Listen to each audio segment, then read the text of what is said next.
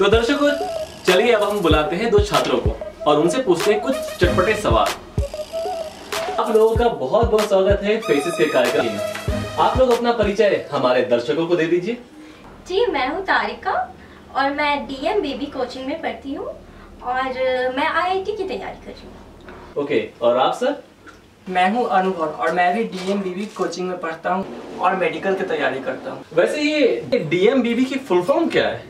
देसी मुर्गी विलायती बोल। ओह, अच्छा अच्छा।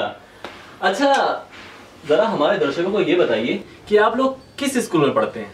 स्कूल का नाम तो नहीं मालूम लेकिन कोचिंग वाले किसी भी स्कूल से अपेयर करवा देते हैं और पैसे लेकर 90 परसेंट से अब की गारंटी भी लेते हैं। तो पापा को मालूम होगा स्कूल का नाम। वाह अच्छा एक बात और बताइए कि आप लोग स्कूल में ना पढ़कर कोचिंग में क्यों पढ़ते हैं? इसका क्या फ़ायदा? है वो ऐसा है ना कि साइंस की बातें सीधे दिमाग में नहीं आती इन्हें कोचना पड़ता है तो इसीलिए कोचिंग बना है। जैसे कि पहले दिमाग में कोई चीज़ नहीं आती थी तो टीचर उससे अलग से दिमाग में ठूसते थे तो वो ट्यूशन कहलाता था। बाद में जाकर वो ट्यूशन बन गया। ट्यूशन के नाम से आएँगे अरे वाह। आप तो भाषा विज्ञान के बहुत पहुँचे हुए विद्वान लगते हैं हाँ? कैसे किस शब्द का जन्म हुआ ये सब जानते हैं। अच्छा ये बताइए कि कोचिंग जाने के और क्या क्या फ़ायदे हैं? एक्चुअली स्कूल में बहुत ज़्यादा डिसिप्लिन होता है। वहाँ व्हाट्सएप नहीं यूज़ कर सकते वहाँ फेसबुक नहीं देख सकते और कोचिंग में सब कुछ कर सकते हैं। हाँ हाँ हाँ हाँ, ये बात आपने सही कहा। और इसका सबसे बड़ा एडवांटेज ये है कि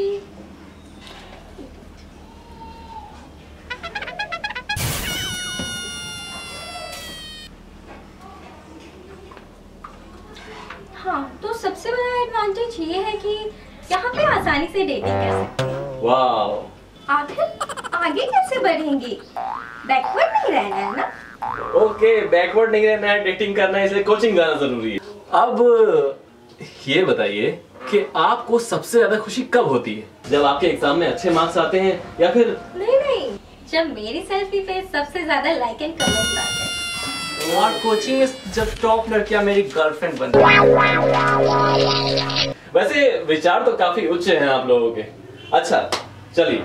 आप लोग हमारे दर्शकों को एक अच्छा सा गाना गा के सुना दीजिए।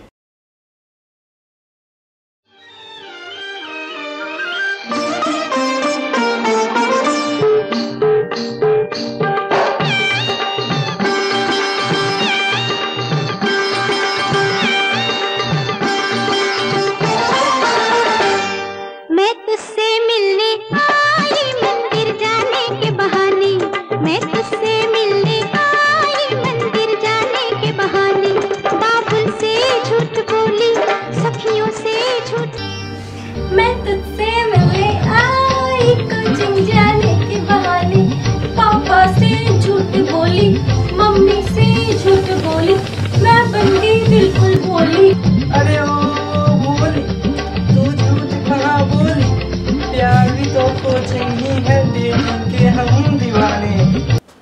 तारारम तारारम तारारम पम। वो क्या हुआ ना कि आप लोगों ने इतना अच्छा गाया कि मैं भी उस धुन में खो गया। वैसे आप लोगों का बहुत बहुत धन्यवाद कि आप हमारे इस कार्यक्रम में आए और हमारे कार्यक्रम को चार चार लगाए उसकी शोभा बढ़ाई। नमस्कार।